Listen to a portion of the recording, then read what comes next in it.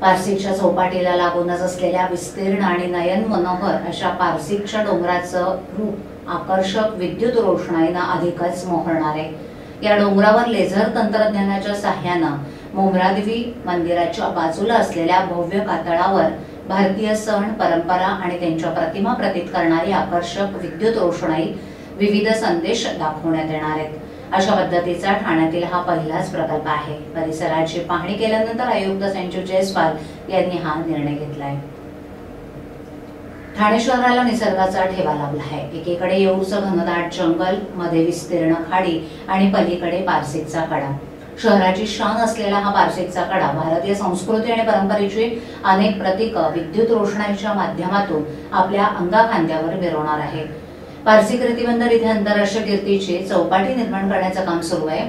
तिला भेट देण्यासाठी रोज हजारो पर्यटक येण्याची शक्यता आहे. याच पार्श्वभूमीवर पारसिक चौपाटीवरून पारसिक डोंगराचं मनोहरी रूप सायंकाळच्या आणि रात्रीच्या वेळी पर्यटकांना अनुभवता यावं यासाठी ही विद्युत रोषणाई करण्यात येणार आहे.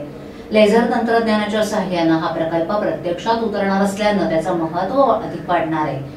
याबाबत आमदार जितेंद्र आव्हाड यांनी सातत्यानं पाठपुरावा केला होता. त्यानुसार पालिका आयुक्तांनी पाहणी करून अशा प्रकारची विद्युत रोषणाई करण्याचा निर्णय घेतला आहे.